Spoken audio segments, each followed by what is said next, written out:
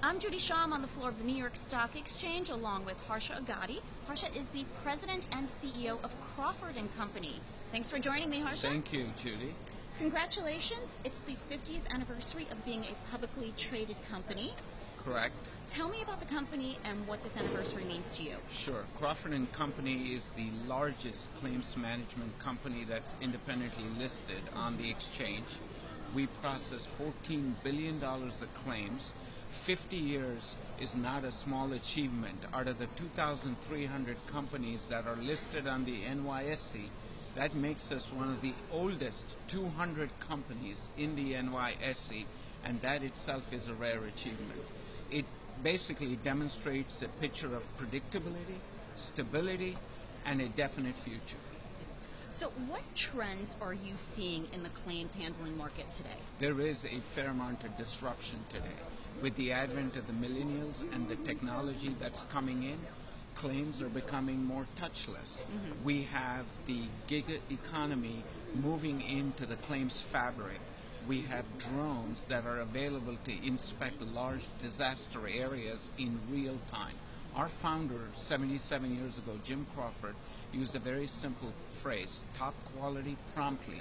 Interestingly, that is exactly what policyholders, carriers, corporations look for is top quality promptly to get the claim done. How has Crawford changed over the past 50 years? I would say over time we have started to invest quite heavily in technology mm-hmm. to make it more seamless, more accurate, more predictable. We have a very interesting mission statement restoring and enhancing lives, businesses, and communities. It is an awesome mission statement.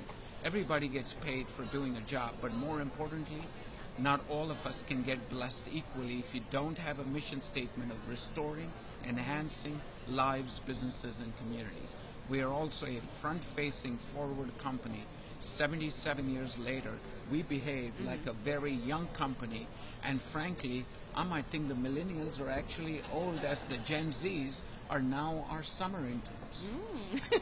so what's next for Crawford? I think you will see a tremendous amount of depth and expertise rolling out in various areas, various verticals. We are now becoming number one in hospitality claims, number one in transportation, number one in retail, number one in construction. So we are starting to expand across the board. More importantly, I think making this an absolute fun place to work so that we can attract the millennials and the Gen Zs to come to Crawford and Company as opposed to consulting, as opposed to investment banking, as opposed to a variety of other professions. Well, well wonderful. Well, good luck. Thank you very much, Judy, and nice meeting you again. Nice meeting you.